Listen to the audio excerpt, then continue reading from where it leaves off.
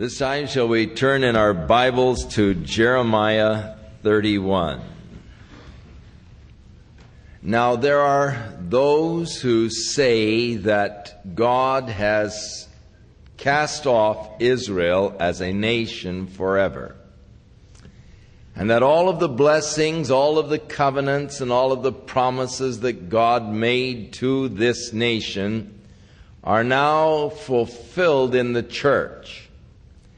That we have become Israel after the Spirit, and being spiritual Israel, uh, God has forsaken the nation itself and is now pouring out all of the blessings that He had promised through His covenant upon the church. Now, this teaching creates all kinds of problems as far as your views of eschatology. Because immediately it places the church in the Great Tribulation. Now, as we were in the 30th chapter of Jeremiah, we found out where God speaks of the nation Israel going to be in the Great Tribulation and experiencing that time of Jacob's trouble. But it is our view and strong conviction that the church will not be in the great tribulation inasmuch as the great tribulation is the time of God's wrath being poured out upon the church, I mean upon the world, and the Lord said that we have not been appointed that is the church, unto wrath.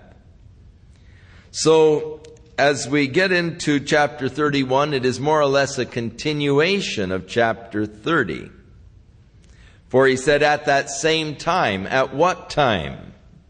As you go back to verse 24 of chapter 30, he declares, The fierce anger of the Lord shall not return until he has done it and has performed the intents of his heart. In the latter days ye shall consider it. At that same time, that would be then the latter days, saith the Lord. When God again restores the nation Israel to a place of, of divine favor and love. At that same time, saith the Lord, will I be the God of all of the families of Israel and they shall be my people. Now, in the ninth chapter of Daniel, Daniel was seeking the Lord concerning the repatriation of the Jews back to their land after the 70 years of Babylonian captivity. The whole ninth chapter of Daniel begins with uh, the fact that Daniel had been reading the prophecies of Jeremiah, and he discovered by the words of Jeremiah that the time that God had ordained the Babylonian, Babylonian captivity was 70 years, and realizing that these 70 years were about over, Daniel began to pray unto the Lord, confessing his sins and the sins of the nation and the righteousness of God in the judgment and in this period of 70 years that they had been in exile in Babylon. And as Daniel was in prayer, the angel of the Lord came unto him and declared unto him that he was highly blessed and favored of the Lord, and that the Lord had sent unto Daniel to give to him wisdom and understanding as regards to the nation Israel and its future. And he said, Know and understand that from the time the commandment that there are 77s that are determined upon the nation Israel to finish the transgressions, to make an end of sin, to make reconciliation for iniquity, to complete the prophetic picture, to anoint the most holy one or the most holy place, and to bring in the everlasting kingdom. 77s. But know and understand that from the time the commandment goes forth to restore and rebuild Jerusalem unto the coming of the Messiah the Prince will be seven sevens and sixty-two sevens, or 69 seven year periods, or 483 years. And of course, it was 483 years from the time the commandment went forth to restore and rebuild Jerusalem to the coming of Jesus Christ in his triumphant entry. He came 483 years to the day from the commandment went forth to restore and rebuild Jerusalem. Now, that takes care of 69 of the sevens. But we have one seven year period unaccounted for. He said, after the Messiah is revealed, he will be cut off without receiving the kingdom or without receiving anything for himself. And the Jews will be dispersed. And that is exactly what happened. Christ came at the appointed time, but rather be, than being anointed, and rather than ushering in at that moment the everlasting kingdom, and rather than completing all of the prophecies, the Messiah was cut off. He did bring reconciliation for our iniquities by his death upon the cross. He has reconciled us to God. And he did make an end of sin.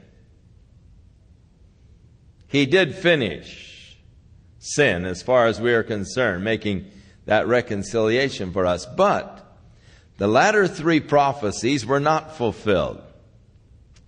And wait a yet future date for fulfillment. Messiah was cut off. And then he went on to say, And the prince of the people that shall come will make a covenant with the nation, Israel. But in the midst of that seven year period, he will break the covenant and establish the abomination which causes desolation. And until the end, desolation is determined.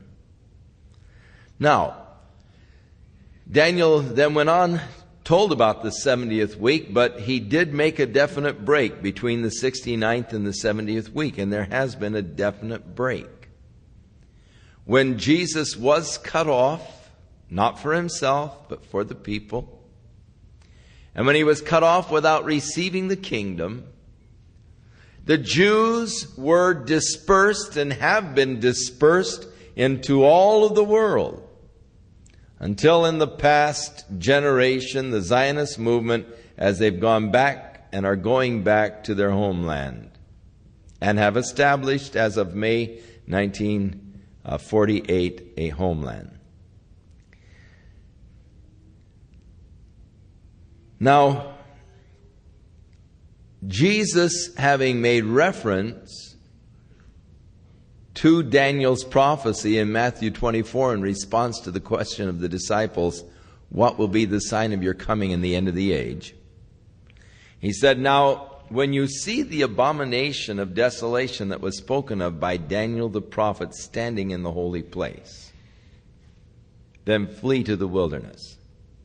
What is the abomination of desolation spoken of by Daniel the prophet? Is when the Antichrist this prince of the people that shall come, will come into the temple and stand in that holy place of the temple and creates the abomination of desolation by declaring that he is God, stopping the daily prayers and sacrifices, and demanding that he be worshiped as God. Paul the apostle speaks of this in the second chapter of Thessalonians, how that he will stand in the temple of God declaring himself to be God and demanding to be worshiped as God. Now, Jesus gave this as a part of the sign of, of the end of the age and his coming. And he is talking again to the Jews. And he said, When you see this happen, and let him who reads understand, then flee to the wilderness. Pray that your flight will not be on the Sabbath day or the new moon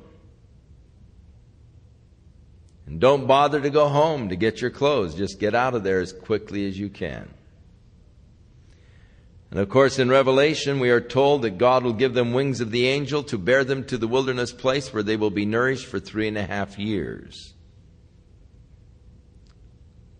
So there is one seven year period in which God is going to be dealing with the nation Israel once again. 77s were determined on the nation.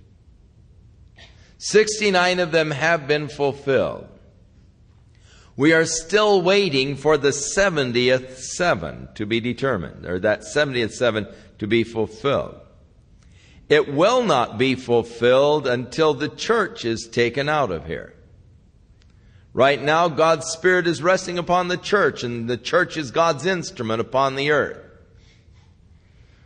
But the Lord is going to take His church out, and when He does, then He will put His Spirit again upon the nation Israel, and He'll begin to deal with them once more nationally.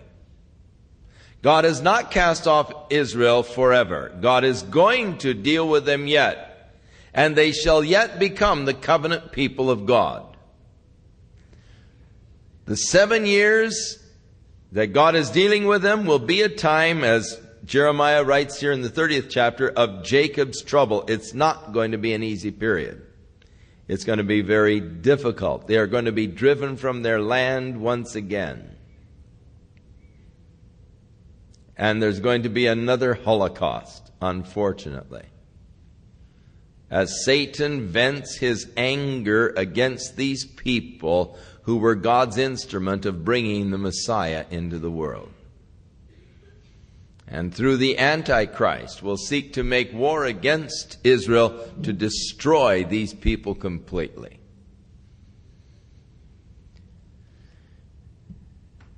So, at the end of that seven year period, then Jesus will return again and they will receive, recognize, and honor him as their Savior, as their Messiah, as their Lord.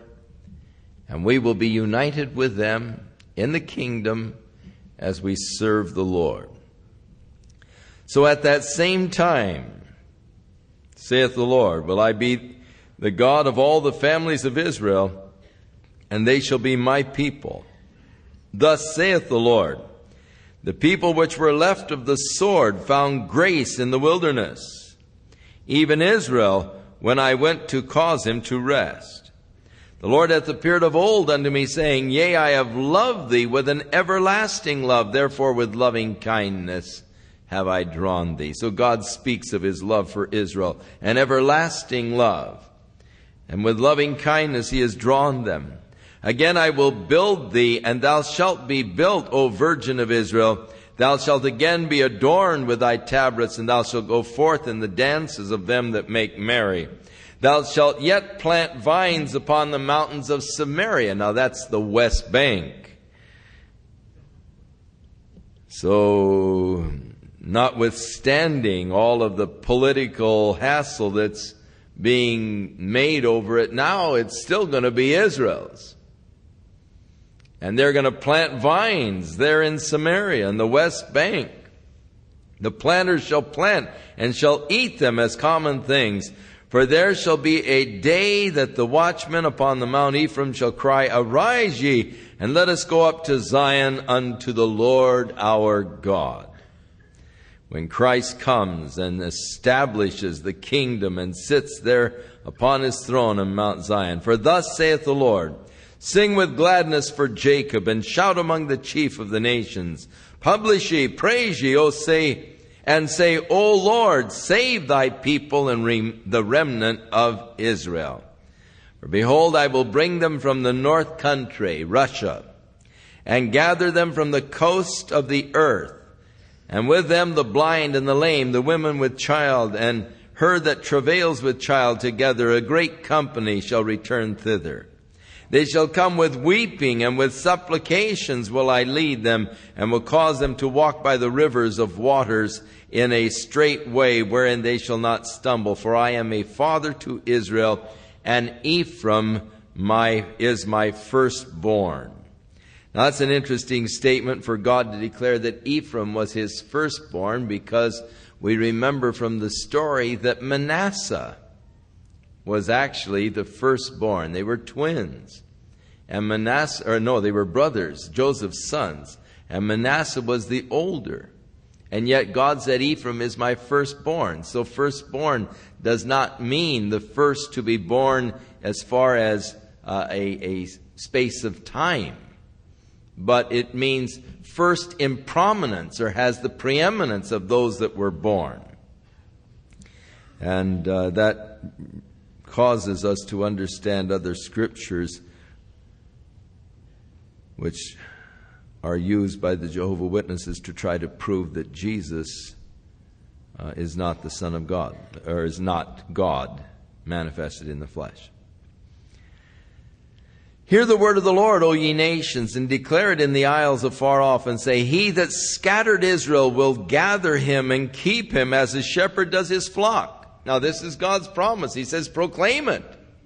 I've scattered them, but I'm going to gather them again. For the Lord hath redeemed Jacob and ransomed him from the hand of him that was stronger than he.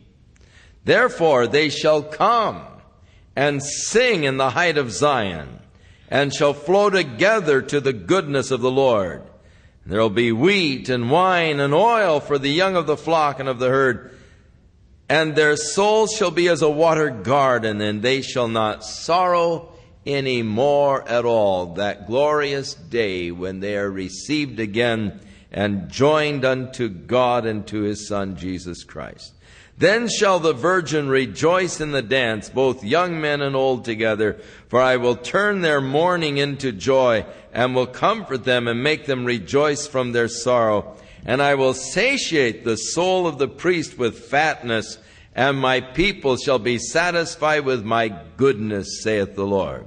Thus saith the Lord, a voice was heard in Ramah, lamentation and bitter weeping. Rahel weeping for her children and refused to be comforted for her children because they were not. Now, Matthew in the New Testament takes this as a prophecy of Herod killing all of the children two years old and under at the time of the birth of Christ in order that he might destroy the king that was born, that the wise men from the east came looking for him. And uh, Joseph, being warned by the angel in a dream to flee to Egypt with the child, had left Bethlehem. And Herod had ordered all of the children two years and under to be slain in Bethlehem. That Matthew said the prophecy might be fulfilled which declared Rachel weeping for her children and refusing to be comforted because they are not. And so he sees that as, as a prophecy of this period in which uh, Herod ordered this, the slaying of the children. Now, I would not, in reading through this, see that this was a prediction of that event. But I accept that it is because Matthew, by the Holy Spirit, declares that it is. And the New Testament is really the best commentary we have on the Old Testament. And it is interesting to me in the prophecies concerning Jesus Christ how these things are just sort of hid here and, and yet those enlightened by the Holy Spirit suddenly see them and, and they see their fulfillment in the Lord. And uh, just in reading this in its context, we are really talking about a yet future event, and yet uh, by the Holy Spirit, Matthew says this was fulfilled and was a prediction of Herod's slaying of the innocent children. Thus saith the Lord, refrain thy voice from weeping and thine eyes from tears, for the work shall, thy work shall be rewarded, saith the Lord, and they shall come again from the land of the enemy. So God promises the restoration, coming out from the land of the enemy. There is hope in the in thine end, saith the Lord, that thy children shall come again to their own border. So you've got hope. You're going to be coming back again into the borders of the country. For I have surely heard Ephraim bemoaning himself. Thou hast declaring, Thou hast chastised me, and I was chastised, as a bullock unaccustomed to the yoke. Turn thou me, and I shall be turned, for thou art the Lord my God. Surely after that I was turned, I repented, and after that I was instructed, and I smote upon my thigh. I was ashamed, yea, even confounded, because I did bear the reproach of my youth. Is Ephraim my dear son? Is he a pleasant child? For since I spake against him, I do earnestly remember him still. Therefore, my bowels are troubled for him. I surely will have mercy upon him, saith the Lord. Now listen how God speaks about a wayward son, Ephraim. Not that he's cast them off forever. I'm through with him. I disinherit him. I disown him. But God did speak of the judgment that was going to come upon him. I spoke against him, but I earnestly remember him still, and actually, I, I inwardly am, am groaning for him, and I will surely have mercy upon him. Set thee up waymarks, make thee high heaps. Set thine heart toward the highway, even the way which thou wentest. Turn again, O Virgin of Israel, turn again to these thy cities. How long will you go about, O thou backsliding daughter? For the Lord hath created a new thing in the earth. A woman shall compass a man. Thus saith the Lord of hosts, the God of Israel, as yet they shall use this speech in the land of Judah and the cities thereof, when I shall bring again their captivity. The Lord bless thee, O habitation of justice and mountain of holiness. This will be again declared. Oh, the Lord bless thee. And he says, I will use this speech in the land of Judah and the cities thereof when I shall bring again their captivity. As they declare, the Lord bless thee, O habitation of justice and mountain of holiness. Now, of course, there is also another thing here, and that is in this present day regathering into Israel, the use again of the Hebrew language. After they returned from the Babylonian captivity, Hebrew was not the general language in Israel any longer. But they spoke Aramaic and they spoke Greek.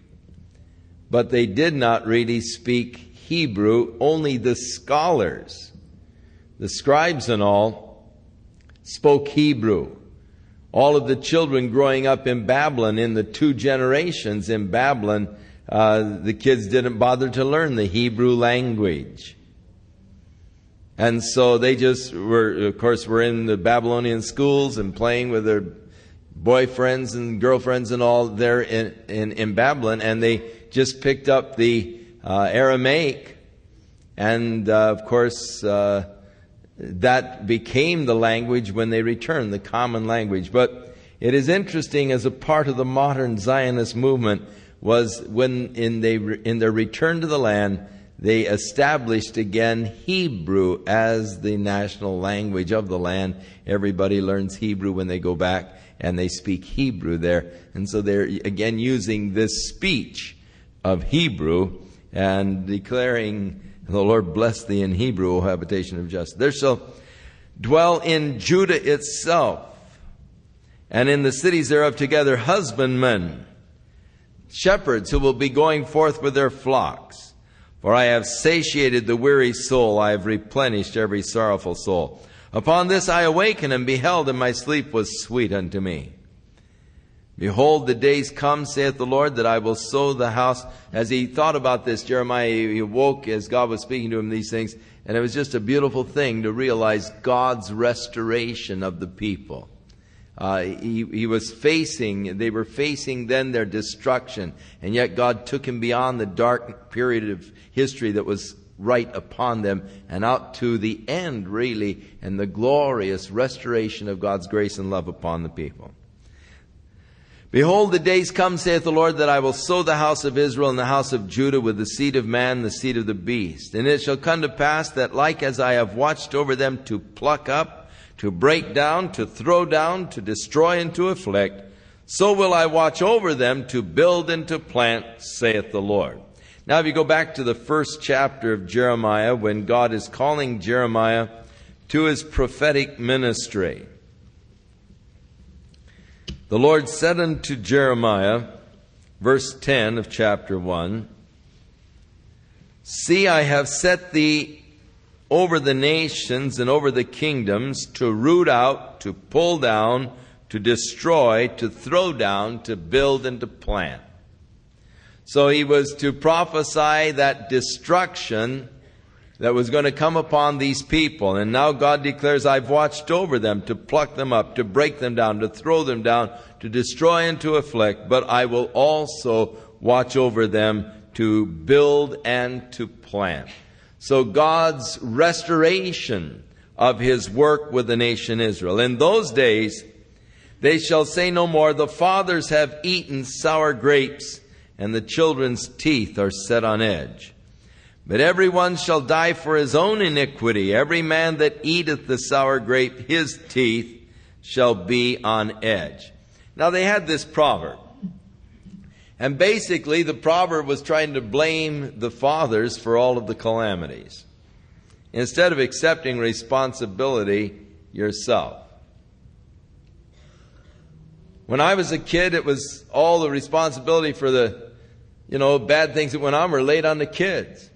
I mean, we were, you know, held responsible for those things that we were doing. When I became an adult, then they changed. They said it's all the parents' fault. So I got, you know, sort of got it both directions. Got it when I was a kid, and now I'm getting it when I'm an adult, as they blame now the adults for all of the problems with the children. They say that personality uh, equals heredity, environment, and time. The, the formula that they use is P equals HET. Personality equals heredity, environment, and time. And there's quite a discussion now on how much uh, is heredity, how much is environment, and how much, uh, you know, uh, making up your personality.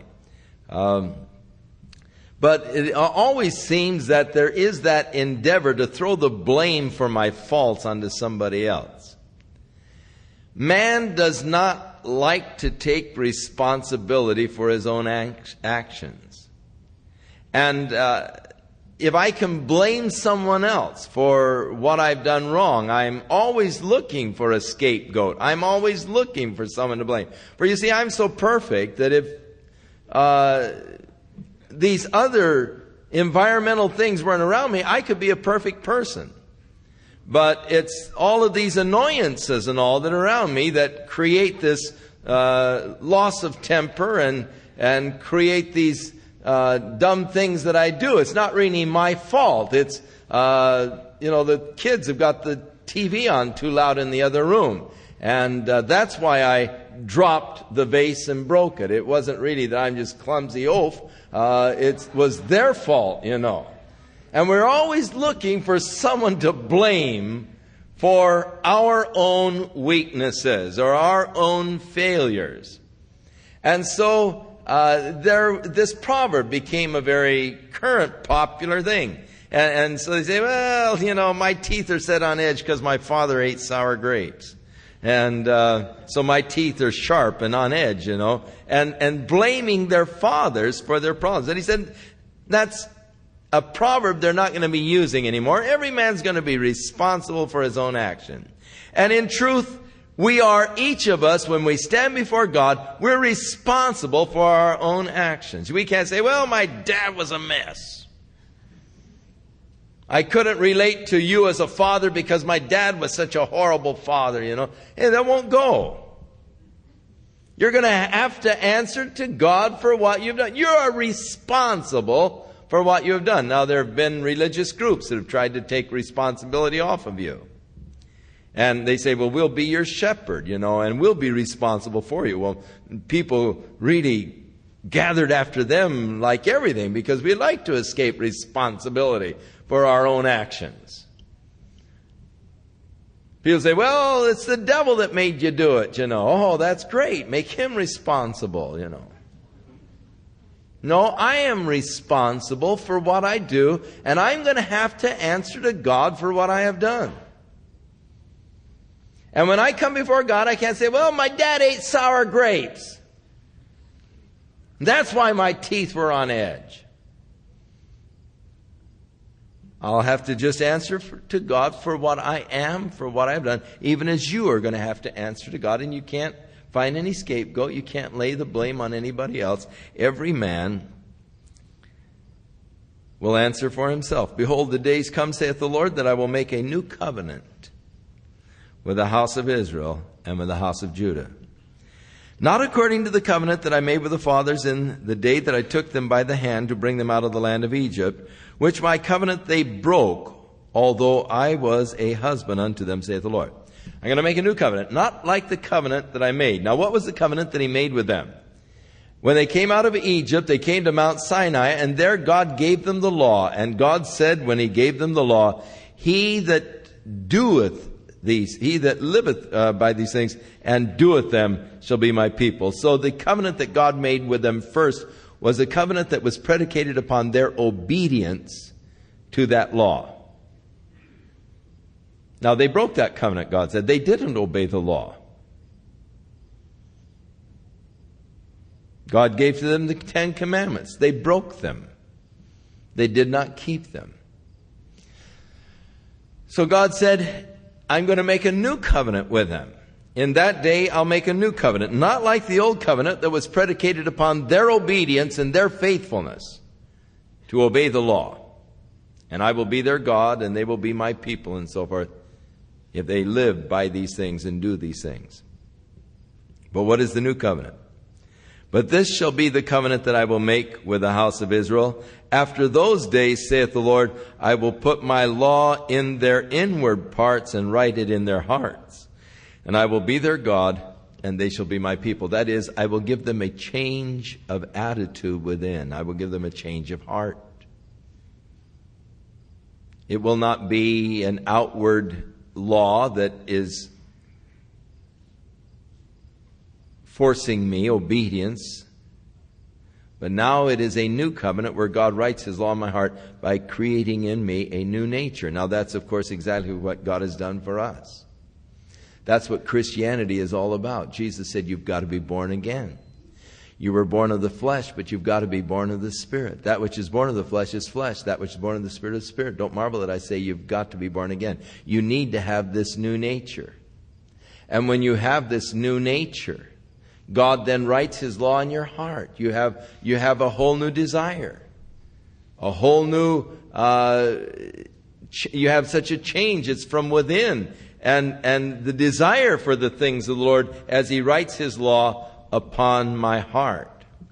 And this new covenant that God has established with us through Jesus Christ is, is the same thing, the change of nature born again by the Spirit, a new nature after Christ Jesus. And it is so important that we be born again because we cannot keep that first covenant that God established. The law, we've all broken it, all have sinned and come short of the glory of God. So God has established this new covenant. The old covenant was established upon man's faithfulness to obey the law. The new covenant is established upon God's faithfulness to justify us by our faith in Jesus Christ. The old, command, the old covenant failed because it was predicated upon man. The new covenant will stand because it is predicated upon God's work. And so we have this new covenant that God has established with us and also will establish with the house of Israel in that day. They are still trying to relate to God under the old covenant, but not completely. They no longer have any sacrifice, which was required of God to put away their sins. And so they're still seeking to relate to God outside of the covenant through Jesus Christ, whereby our sins are taken away. They shall Teach no more every man his neighbor and every man his brother, saying, Know the Lord, for they shall know me, from the least of them unto the greatest of them, saith the Lord, for I will forgive their iniquity and remember their sin no more. What a glorious covenant. God having forgiven our iniquities, not remembering our sins. Thus saith the Lord, which giveth the sun for a light by day, and the ordinances of the moon and the stars for a light by night which divides the sea when the waves thereof roar. The Lord of hosts is his name. If those ordinances depart from before me, saith the Lord, then the seed of Israel also shall cease from being a nation before me forever. If you will stop the day and the night, the ordinances of the moon and the stars and all, then Israel will cease from being a nation before the Lord. Thus saith the Lord, if heaven above can be measured and the foundations of the earth searched out beneath, I will also cast off all the seed of Israel for all that they have done, saith the Lord. Behold, the days come, saith the Lord, that the city shall be built to the Lord from the tower of Hananeel even to the gate of the corner. And the measuring line shall yet go forth over against it upon the hill Gareb, and shall encircle it to Goath and the whole valley of the dead bodies and the ashes and all the fields under the brook of Kidron under the corner of the horse gate to the east shall be holy unto the Lord. It shall not be plucked up nor thrown down any more forever. It is interesting, these uh, hills and so forth that are described here as being a part of the city of Jerusalem are indeed all within the city of Jerusalem today. The city has ex- been expanded out to these areas uh, that are referred to here in Jeremiah. Now the word that came to Jeremiah from the Lord in the tenth year of Zedekiah, king of Judah. It was the 18th year of Nebuchadnezzar. Now in the 11th year of Zedekiah is when uh, Jerusalem fell. So this is right at the end. For then, even at this time, in the 10th year, the king of Babylon's army had besieged Jerusalem, and Jeremiah the prophet was shut up in the court of the prison, which was in the uh, the king of Judah's house. For Zedekiah the king of Judah had imprisoned him, saying, Why do you prophesy and say, Thus saith the Lord, Behold, I will give this city to the hand of the king of Babylon, and he shall take it. And Zedekiah the king of Judah shall not escape out of the hand of the Chaldeans, but shall surely be delivered into the hand of the king of Babylon, and shall speak with him mouth to mouth, and his eyes shall behold his eyes. And he shall lead Zedekiah to Babylon, and there shall he be until I visit him, saith the Lord. Though ye fight with the Chaldeans, ye shall not prosper. So because of this prophecy of, of Jeremiah saying Zedekiah is going to be taken, the king is going to look at him eye to eye and all, and going to carry him away captive, it got the king upset and threw him in jail. Now, this particular prophecy that he is referring to, to show you that we're not in chronological order, is a prophecy that you find in the 34th uh, chapter of um, Jeremiah here. And so, this particular prophecy of him looking at him eye to eye and so forth um, is, is further on. So, you see that we're not in a chronological order as far as the prophecies are uh, given here in Jeremiah. So you can't really look at this in, in a chronological order, but these are just prophecies that have come down. And uh, we'll get that this evening as we get into the 34th uh, chapter, the first part there. Uh, this particular prophecy that got Jeremiah thrown in jail. Now, he's in the prison, in the king's court in prison. And the word of the Lord came unto me, saying, Behold, Hanameel, the son of Shallum, thine uncle, shall come unto thee, saying, Buy thee my field that is in Anathoth, for the right of redemption is yours to buy it. So Hanameel, my uncle's son, came to me in the court of the prison, according to the word of the Lord, and said unto me, Buy my field, I pray thee, that is in Anathoth, which is in the country of Benjamin, for the right of inheritance is yours, and the redemption is thine to buy it for thyself. And then I knew that this was the word of the Lord. Now, the incongruous part of this is that already Benjamin had fallen to Babylon. And so this field that was in question is already under Babylonian control and they are going to be captives in Babylon for 70 years. Why would he want to redeem a field that is already under Babylonian control? So when the Lord spoke to him and said, now buy the field, tomorrow uh, Hananiel, or Hanameel, your cousin, is going to come and ask you to buy his father's field for the right of redemption is yours, go ahead and buy it. He, he thought, man, how could, is this me? Surely, you know, this can't be the Lord telling me this. until when Hanameel came in and said, Hey, my father wants you to redeem the field, the right of redemption is yours. Then I knew it was the Lord saying it, but he still didn't know, you know, he still was troubled by the thing. Why in the world does God want me to do it? But he went ahead in obedience, and I bought the field of Hanameel, my uncle's son, that was in Anathoth, and I weighed him the money, 17 shekels of silver, and I subscribed the evidence, look, and I sealed it. And I took two witnesses and weighed him the money in the balances, in the scales there. He weighed out the money. And I took the evidence of the purchase, both that which was sealed according to the law and the customs, and that which was open. And I gave the evidence of the purchase to Baruch, the son of Neriah, uh, the son of Mahseiah, in the sight of Hanameel, my uncle's son, and in the presence of the witnesses that subscribed the book of the purchase before all the Jews that sat in the court of the prison. And I charged Baruch before them, saying, Thus saith the Lord of hosts, the God of Israel, Take these evidences, this evidence of the purchase, both which is sealed and this evidence which is open, and put them in a clay pot that they may continue for many days. For thus saith the Lord. In other words, preserve them because it's going to be a long time, you know, before I'm going to be able to take this field. So seal these things and preserve them. For thus saith the Lord of hosts, the God of Israel, houses and fields and vineyards shall be possessed again in the land. So it was a sign of his faith that God was going to bring them back from captivity. Though it's already under enemy control. God's going to bring us back. The land's going to be ours again. And so we're going to possess this land again. Now, under Jewish law, when you had sold or forfeited property, they would always draw up these legal instruments and they would seal them. And there came the time of redemption, usually in the seventh year, so that the thing that you had sold remains in the new ownership for six years, and in the seventh year, you had the right to redeem it, providing you could fulfill the requirements that were in the sealed scroll.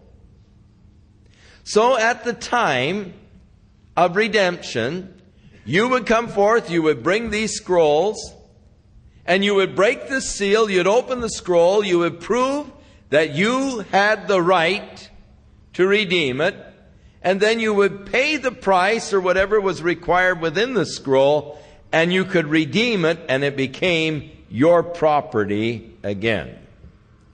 So that you never really sold your property permanently unless you could not redeem it in the year of redemption. Now, another aspect was added to this law of redemption, and that is if you were personally unable to redeem it, you didn't have the money, you couldn't redeem it yourself in the time of redemption, if you had a brother or an uncle or a cousin or someone who is a, a part of your family, a kin to you, he could step in and he could pay the money and he could redeem it so that it remains in the family and in the family's name.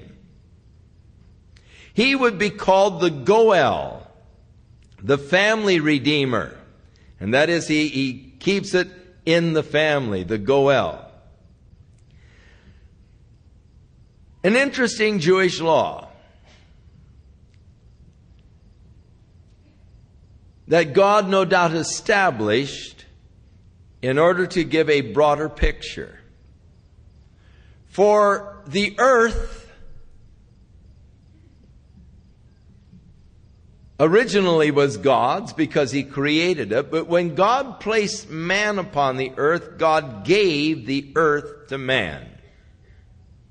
God placed Adam upon the earth and He said, Hey, be fruitful and multiply, replenish the earth. For I have given it to thee, and I have given you dominion over the earth, over the fish of the sea, the fowls of the air, over every moving and creeping thing. And God gave man dominion over the earth. Now, when Satan came into the garden and tempted Eve. And Eve gave to Adam, and he also ate of that forbidden fruit. In their action of submitting themselves to Satan, they in reality turn the control of the earth over to Satan. So that Satan at that point and from that point began to be the owner of the earth, in effect. It's his. Man turned it over to him, forfeited it to Satan. And since that time, the earth has been under Satan's control. You do not see the world that God created, nor do you see the world that God intended. You see a world that is filled with suffering. God never intended the suffering. You see a world that is filled with prejudice. God never intended the prejudice. You see the world in which the poor are oppressed by the rich. God never intended it to be that way. You see a world where children are starving to death. God never intended that. You see a world that is filled with sickness. God never intended that. All of the calamities and the evils that we see in the world today have been created because of man's rebellion against God. Because man will not obey God and obey the laws of God, you see the result in a world that is filled with corruption and violence and greed and inequality. God never intended it to be that way. He intended us to all live together as brothers in equality.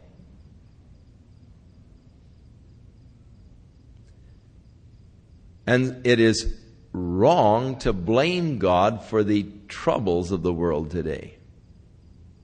It is wrong to blame God for the crimes, for the sicknesses, for the malformed babies, for all of these evil things that we see. It isn't God's world.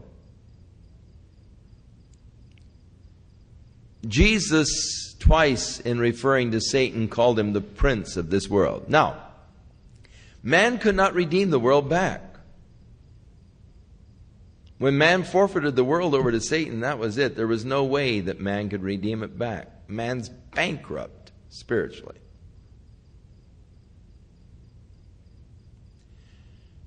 And so, God so loved the world that he sent his only begotten Son. For what purpose? To redeem the world back to God. Now, Jesus became a man in order that he might be next of kin or a kinsman.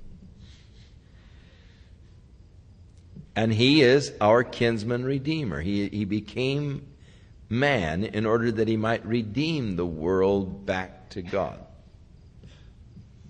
And when Jesus came, Satan took him up into a high mountain and showed to him all of the kingdoms of the earth. And he said, All of these and the glory of them I will give to you if you'll bow down and worship me, for they are mine, and I can give them to whoever, whoever I will. Satan is promising him the kingdoms. Jesus didn't say, uh, What do you mean? They're not yours. You can't give them.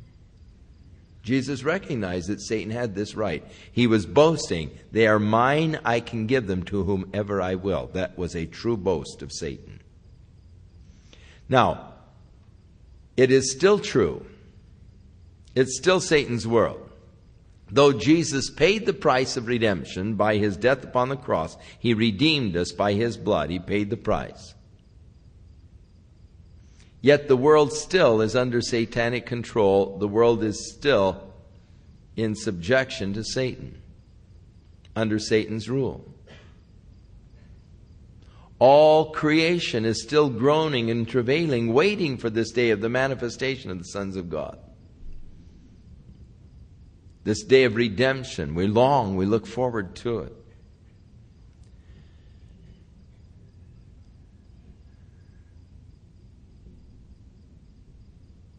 Now, in the book of Revelation,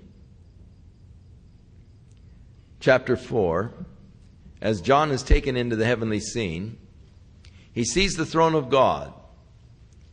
He sees the elders on their lesser thrones around the throne of God. He sees the glassy sea before the throne of God. He sees the cherubim as they are there. He hears them as they worship God saying, Holy, holy, holy, Lord God Almighty, which is, which was, and which is to come. And he watches the 24 elders at this point as they fall on their faces, take their golden crowns, and cast them before this glassy sea, which is before the throne of God. And he hears them declare, Thou art worthy to receive glory and honor, for thou hast created all things, and for your good pleasure they are and were created. Then as you move into chapter 5, he sees in the right hand of him who is sitting upon the throne a scroll that is sealed with seven seals, writing both within and without. All right, now here uh, you have the thing with Jeremiah here making these scrolls and sealing one and leaving another one open. The instruments, the title deeds for the property. And he has the scroll sealed with seven seals. And the angel proclaims with a loud voice, Who is worthy to take these scrolls and to loose the seals? In other words, who can redeem the earth so that it be, again becomes God's? And no man was found worthy in heaven, in earth, under the sea to take the scroll or to loose the seals. And I, John, began to sob convulsively because no one was found worthy to do this. Why is John so upset? Why is he sobbing like that? Because if no one redeems the earth at this point, it remains in Satan's control forever. And the thought of that is more than John can bear. But the elder said unto me, Don't weep, John. Behold, the lion of the tribe of Judah hath prevailed. He's going to take the scroll and open the seals. And John said, I turned and I saw him as a lamb that had been slaughtered. And he came forth and he took the scroll out of the right hand of him that is sitting upon the throne. And when he did, the elders came forth with golden vials full of odors, which are the prayers of the saints. And they sang a new song, saying, Worthy is the Lamb to take the scroll and loose the seals thereof, for he was slain and has redeemed us by his blood out of all of the nations, people, tongues, and tribes, and hath made us unto our God kings and priests, and we shall reign with him on the earth. And then there was a hundred million angels plus millions of others who joined in saying, Worthy is the Lamb to receive glory and honor and dominion and mights and authorities and thrones and power and so forth. That glorious day when the kingdoms of this world will again become the kingdoms of our Lord and of his Christ. And the earth is restored, and we see what God intended when he created the earth and placed man upon it. As we live together in peace and in love and in harmony and in righteousness. When all commercial systems are put away and man lives as God intended him to live, every man neath his vine and fig tree and me under my coconut.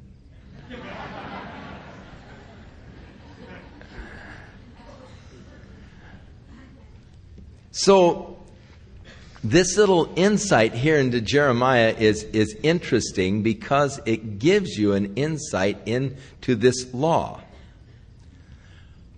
But one extra little facet here, which I find quite interesting, is that most generally under the Jewish law, of course, Jesus then takes the scroll and he begins to open the seals, and the judgment comes. And then he comes in chapter 10. The scroll is open, he puts one foot upon the sea and one foot upon the earth, and he says, The kingdoms of this world have now become the kingdoms of our Lord and of his Christ. He lays claim to that which he purchased with his blood. The interesting thing to me is that generally the pattern was six years of servitude and the seventh year set free. And it was just about 6,000 years ago now that Adam went into the servitude of sin and Satan. We are coming very, very close to the 7,000th year. The time of redemption is at hand. I mean, we're, look at it. We're coming out to the year 2000. Now, just when it was that Adam fell, we do not know for sure. One chronology, Ussher's, Bishop Ussher, has it figured about 4004 BC. If that is so, then, you know, the 7,000th year would begin um, about 1996. But we don't want to really be date setters as such, but just know that we're getting close. The time and the seasons, we do know. And man has just about had it. 6,000 years is about all we can take. We've about done as much damage as we can possibly do without destroying now ourselves. And the Lord's going to intervene. And He's going to establish His kingdom. A kingdom that will never end. So, it's, it's fascinating to read Jeremiah here and to realize the significance of the scroll, of the laws of redemption, and of the kinsman redeemer whereas Jeremiah became the kinsman redeemer. Uh, Shallum couldn't redeem his own property. Jeremiah stepped in and redeemed it for him. Man can't redeem himself. Jesus stepped in and redeemed us. Jesus redeemed the world and us as his children. Now, when I delivered Jeremiah, says this evidence of the purchase unto Baruch, the son of Neriah, I prayed unto the Lord, saying, Now, Jeremiah is still troubled by this. Lord, it's stupid for me to buy this. Now, why should I do it? Ah, Lord God, behold, you've made the heaven and the earth by your great power, and you've stretched your stretched out arm, and there is nothing too hard for thee. Now, I, uh, I think it's valuable to study the prayers in the Bible. And this prayer of Jeremiah is a valuable one to say. Notice how he begins his prayer. Oh Lord God, you've created everything. And there is nothing too hard for you. Oh, what a glorious way to begin a prayer. Our Father, which art in heaven, hallowed be thy name. Uh, the disciples followed this pretty much in their prayer in, uh, O Lord, thou art God, Thou hast created the heaven and earth and everything that is in them. It's good when you start to pray to, in your addressing of God, to sort of remind yourself of who you're talking to. Lord, there's nothing too hard for you.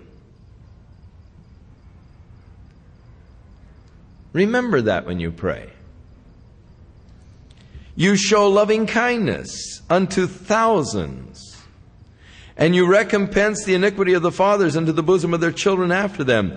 You are the great and the mighty God, the Lord of hosts is your name. You are great in counsel and mighty in work, for your eyes are open upon all of the ways of the sons of men to give every one according to his ways and according to the fruit of his doings. And you have set signs and wonders in the land of Egypt, even unto this day, and Israel, and among other men, and you have made thee a name as at this day. And you brought forth your people Israel out of the land of Egypt with signs and wonders, and with a strong hand, and with a stretched out arm, and with great terror. And you have given them this land which you did swear to their fathers to give them, a land that is flowing with milk and honey. And they came in and possessed it, but they did not obey your voice, nor did they walk in your law. They have done nothing of all that you commanded them to do. Therefore, you have caused all of this evil to come upon them. And behold, now the Babylonians have these machines out there, those mounts, and they are coming against the city to take it. And the city is given into the hand of the Chaldeans that fight against it because of the sword and of the famine and of the pestilence that you have spoken, this has come to pass, and behold, we are seeing it. You said there be the sword, the pestilence, famine, and God, we see it. And now, Lord, you say to me to buy this field. You're so smart and you've done all of these things, but God is stupid to buy that field. You know, because the, the Babylonians have it. And you said unto me, O Lord God, buy thee the field for money and take the witnesses for the city.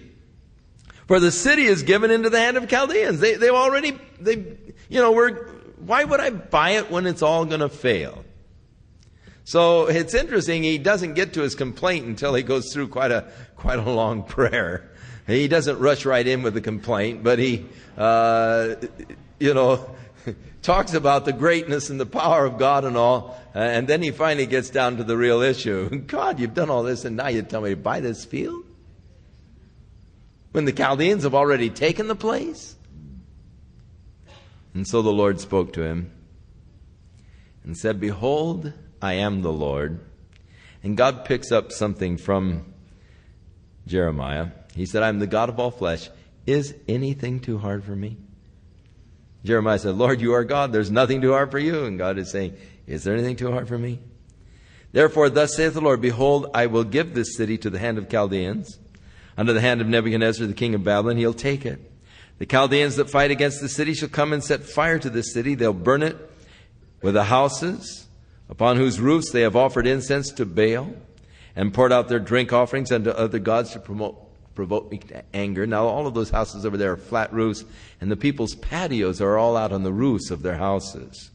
You see ladies scrubbing the roofs of their houses. It's a very interesting thing. You go over there today, and so many flat roofs, and you see the ladies out there scrubbing the roofs uh, as, as they, their family areas.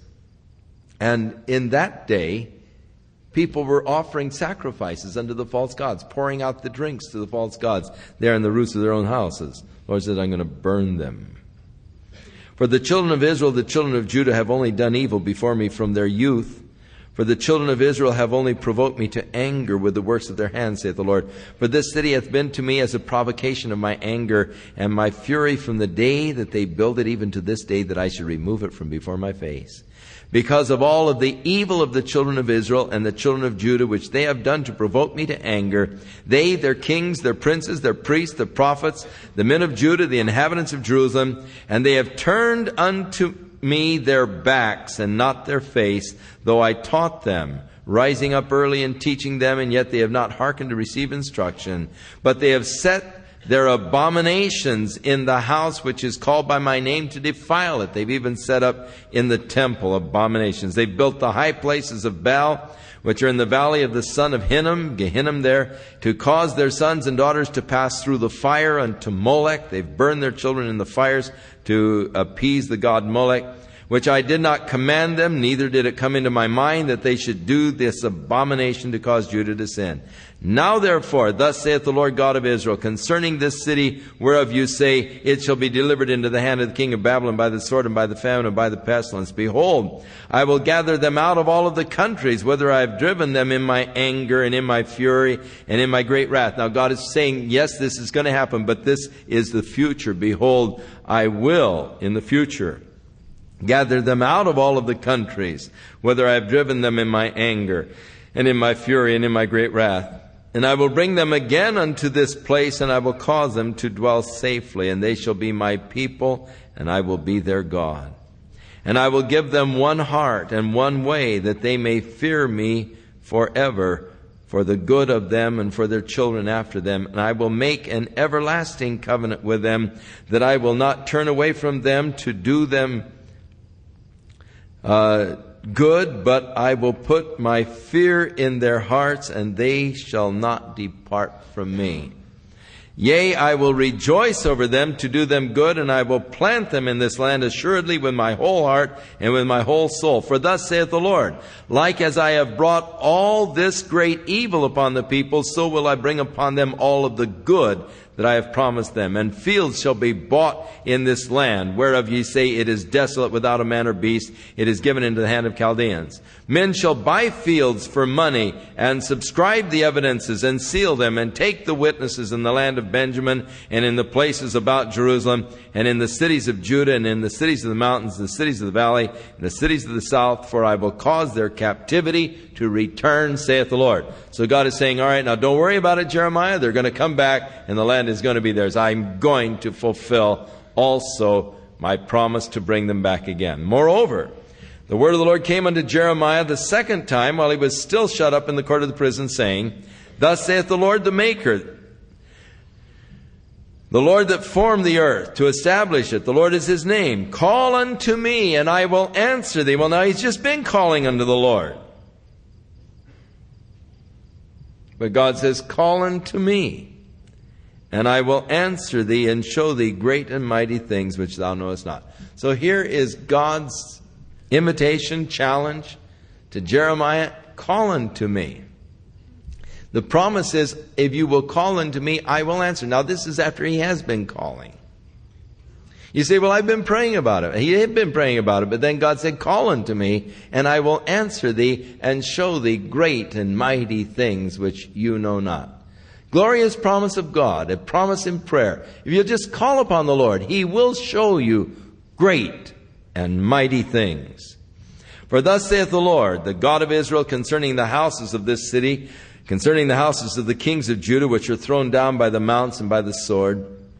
They come to fight with the Chaldeans, but it is to fill them with dead bodies of men whom I have slain in my anger and in my fury, for all of whose wickedness I have hid my face from this city. Behold, I will bring it health and cure. I will cure them and will reveal unto them the abundance of peace and truth. And I will cause the captivity of Judah and the captivity of Israel to return and build them as at the first and I will cleanse them from all their iniquity whereby they have sinned against me, and I will pardon all their iniquities whereby they have sinned and whereby they have transgressed against me, and it shall be to me a name of joy, a praise and honor before all of the nations of the earth, which shall hear of all of the good that I will do unto them, and they shall fear and tremble for all of the goodness and for all of the prosperity that I procure unto it. Thus saith the Lord again, there shall be heard in this place, which ye sh- which you say shall be desolate without man and without a beast, even in the cities of Judah and in the streets of Jerusalem that are desolate without man and without inhabitant and without a beast. There will be here the voice of joy, the voice of gladness, the voice of the bridegroom, the voice of the bride, the voice of them that shall say, Praise the Lord of hosts. For the Lord is good, for his mercy endureth forever and of them that shall bring the sacrifice of praise unto the house of the Lord, for I will cause to return the captivity of the land as at the first, saith the Lord. So God's promises now of restoration of the nation Israel. It's going to happen. God has said, I'm going to do it. This land that you say is desolate, it's going to be filled with voices of joy and happiness. Voices of the bridegroom and of the bride. Voices of praise unto the Lord as they come into the temple again offering the sacrifices of praise. For thus saith the Lord of hosts, again in this place which is desolate without man, without beast, and all the cities thereof shall be the habitation of shepherds that will cause their flocks to lie down.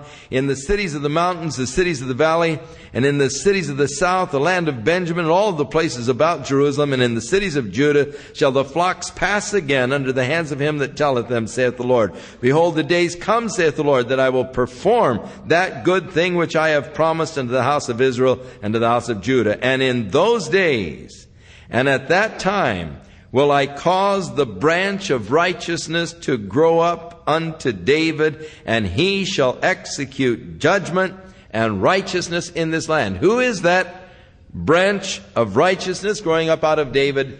Jesus Christ. So he's talking about when Christ comes again and establishes the kingdom, that God is going to cause the nation Israel to be again in the land and, and to be nurtured by the Lord.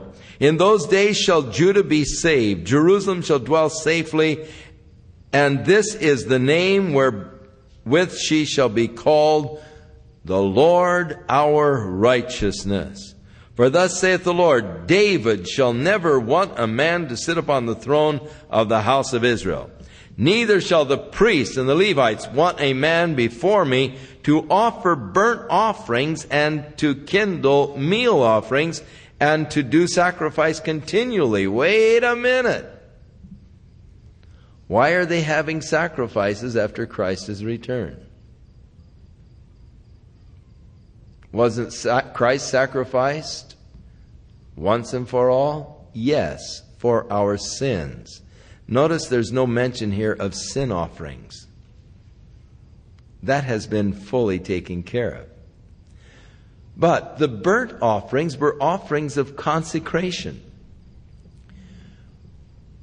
where you would bring a lamb unto the priest, and they would butcher it, and then they would barbecue it and the priest would take that part for him and for the Lord, and then you sit and feast on the rest of it.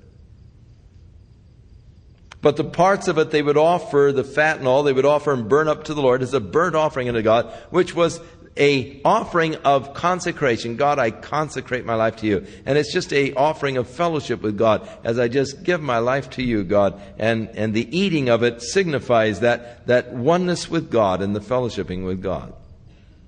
So the meal offering, the same thing. It was just an offering of fellowship.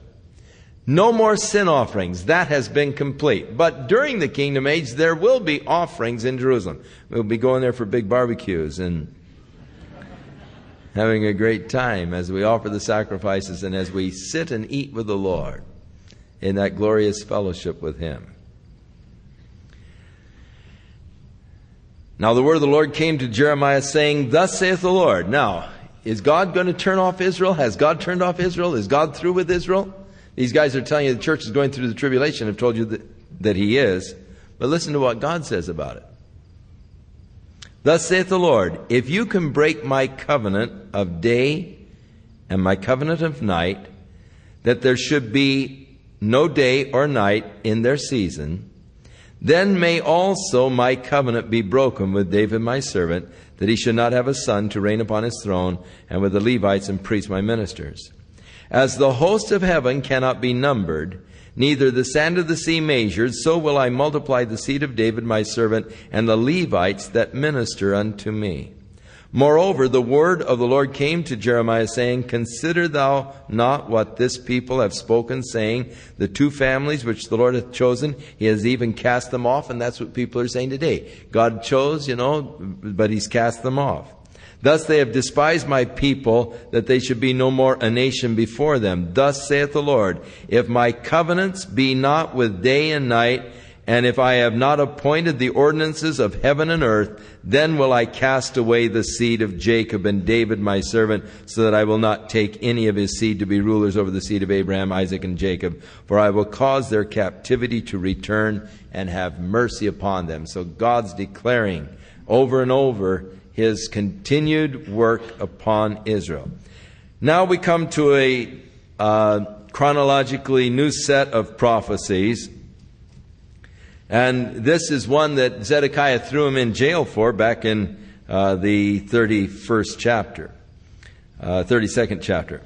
The word of the Lord which came to Jeremiah from the Lord when Nebuchadnezzar the king of Babylon, and all his army and all the kingdoms of the earth and the dominion of the people fought against Jerusalem, against all the cities. Thus saith the Lord, the God of Israel, Go and speak to Zedekiah, the king of Judah, and tell him, Thus saith the Lord, Behold, I will give this city to the hand of the king, and he will burn it with fire. That made the king mad, threw Jeremiah in jail. And thou shalt not escape out of his hand, but thou shalt surely be taken and delivered into his hand, and thine eyes shall behold the eyes of the king of Babylon, and he shall speak with thee mouth to mouth, and thou shalt go to Babylon. And, and this is what Zedekiah referred to, and that's why he threw him in the prison. Ye yet hear the word of the Lord, O Zedekiah the king of Judah. Thus saith the Lord of thee, Thou shalt not die by the sword, but you will die in peace. Uh, and uh, they will offer burnings for you, as they did for the former kings which were before you. They will burn incense for thee, for they will lament thee, saying, Ah, Lord, for I have pronounced thy word, the word, saith the Lord. Then Jeremiah the prophet spake all these words to Zedekiah the king of Jerusalem. And when the king of Babylon's army fought against Jerusalem and against all the cities of Judah that were left against Lachish and against Azekah, and these are the defense cities that remained in the cities of Judah. This is the word that came to Jeremiah from the Lord after that the king Zedekiah had made a covenant with the people which were in Jerusalem to proclaim liberty unto them. So that he proclaimed, Zedekiah proclaimed that all of them were to set their servants free. If he had a servant that was a Hebrew or a Hebrewess, that they were to set them free, that no one should have them for their servants. That is a Jew who was his brother. Now, when all of the princes and all the people had entered into the covenant, they heard every one that he should let his manservant and every maidservant go free. that none should serve themselves of any of them any more. Then they obeyed and let them go. But afterward they took them right back again. Therefore the word of the Lord came to Jeremiah, saying, Thus saith the Lord, the God of Israel, I made a covenant with your fathers in the day that I brought them out of the land of Egypt and out of the house of bondmen, saying, At the end of seven years, let every man his brother who is a Hebrew, which hath been sold unto thee, and when he has served, served thee for six years, you are to let him go free in the seventh year.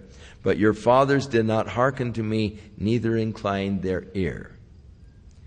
And ye were now turned and had done right in my sight in proclaiming liberty. This was right. You, they haven't been obeying this, but you were right when you did it.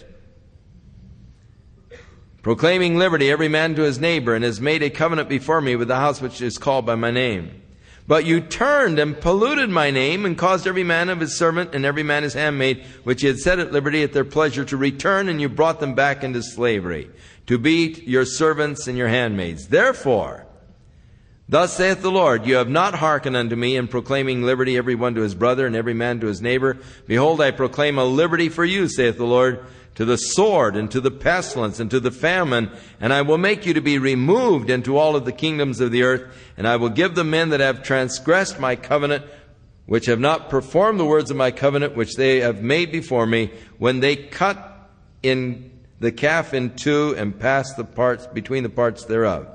The princes of Judah and the princes of Jerusalem, the eunuchs, the priests, and all the people of the land which passed between the parts of the calf. They did that in the covenant. They, they cut the calf and passed in two. They all and, uh, passed between it, which means, yeah, we make the covenant, but they have broken it. I will even give them into the hand of their enemies and into the hand of them that seek their life, and their dead bodies shall be for meat for the fowls of the heaven, the beasts of the earth, and Zedekiah the king of Judah, his princes, will I give to the hand of the enemies, and into the hand of them that seek their life, and to the hand of the king of Babylon's army, which are gone up from you. Behold, I will command, saith the Lord, and cause them to return to this city, and they shall fight against it, and take it, and burn it with fire, and I will make the cities of Jerusalem desolate without a habitation, without any inhabitants.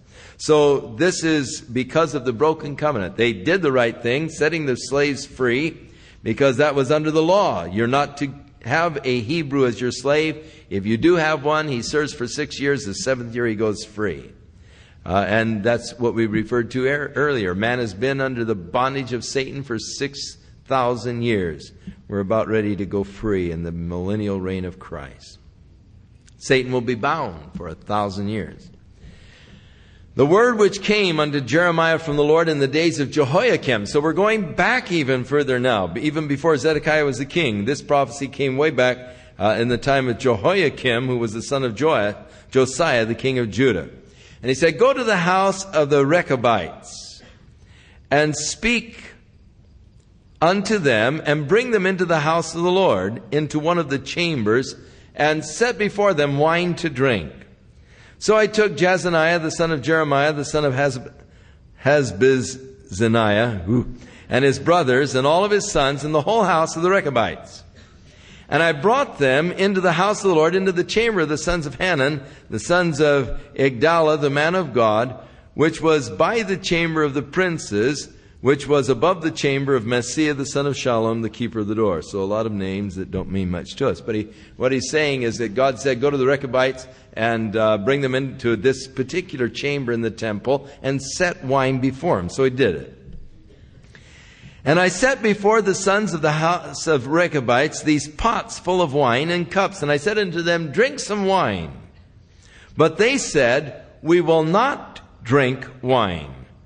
For Jonadab, the son of Rechab, our father, commanded us, saying, You shall drink no wine, neither your sons forever. Neither shall you build houses, nor are you to plant fields or vineyards, nor have any, but all of your days you will dwell in tents, that you may live many days in the land where, wherein you are strangers. And so we have obeyed the voice of Jonadab, the son of Rechab, our father, in all that he charged us, not to drink wine all of our days, we, nor our wives, or our sons, nor our daughters. Nor have we built houses for us to dwell in, neither have we any vineyards, nor fields, nor seed. But we have dwelt in tents and obeyed and done according to all that Jonadab our father commanded us. But it came to pass when Nebuchadnezzar, the king of Babylon, has come into the land that we said, Let's go to Jerusalem, because we feared the army of the Chaldeans, and for fear of the army of the Syrians, so we are dwelling at Jerusalem. So here's this nomadic group of people. They are Bedouin types who are living in tents. They don't drink wine. And, and you'll find today around Jerusalem uh, and around Israel, still you'll find these Bedouins living uh, in tents. Now, the Israeli government tried to build houses for them and a housing settlement.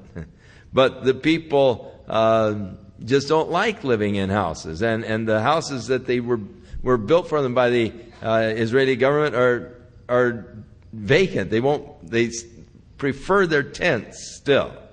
These Bedouins are still around the area. They're interesting people to observe. They don't drink wine or uh, they don't plant fields. They are most of them just shepherds. They don't have vineyards. They just move from place to place living in tents. And uh, so they are interesting people indeed. Uh, the Bedouins are similar to these Rechabites who, way back, one of the fathers said, Hey, don't drink wine, don't build houses, live in tents, don't plant vineyards, you know. And so here they're keeping it. They're obeying this guy, you know, hundreds of years ago who gave the command to the family. So here they're still following it. So the word of the Lord came to Jeremiah, saying, Thus saith the Lord of hosts, the God of Israel, Go and tell the men of Judah and the inhabitants of Jerusalem, Will you not receive instruction to hearken to my words, saith the Lord? Now the words of Jonadab, just this ancestor of these people, the son of Rechab, that he commanded his sons not to drink wine, are performed, for unto this day they don't drink any wine, but obey their father's commandment, notwithstanding I have spoken unto you, rising early and speaking, but you did not hearken to me. Now God is showing the incongruency of this whole thing. Look, here are these people.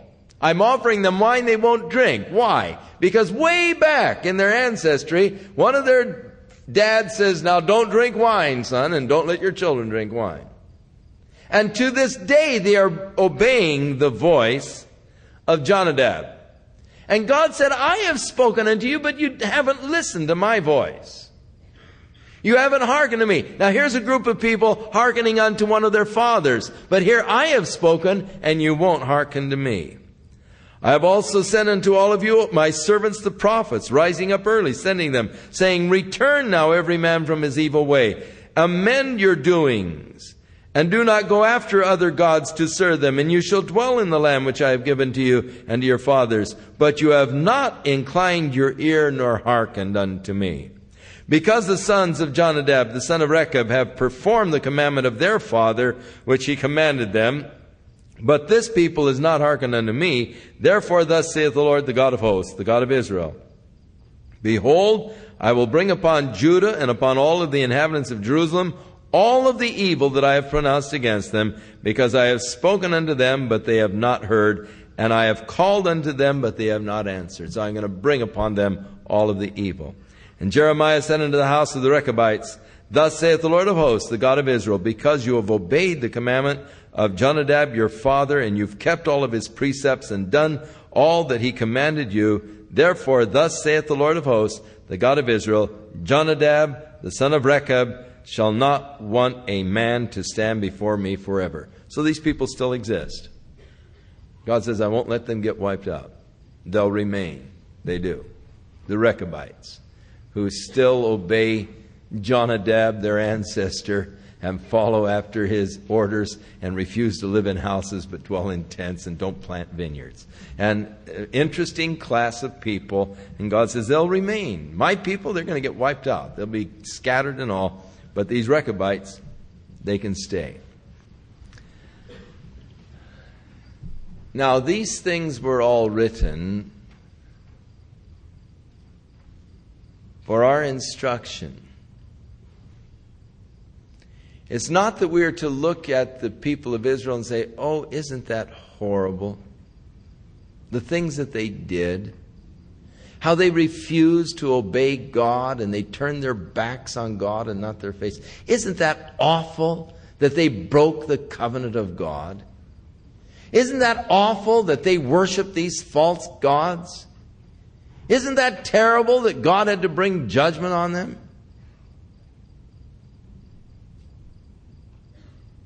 It's not so that we can criticize them. It's so that we will learn not to follow after false idols ourselves. That we will learn to hearken to the voice of God and to obey His voice. That we will seek the Lord with all of our hearts. That we will live a life that is pleasing unto Him. That we will not follow their example of turning away from God, but will live unto God a life of righteousness before Him. So may God be with you and bless you and help you this week to live a life that is pleasing before the Lord. Doing the work of God, obeying the commandments of His voice, walking in fellowship with Him. God be with you and bless you and keep you and give you a beautiful week in Christ Jesus.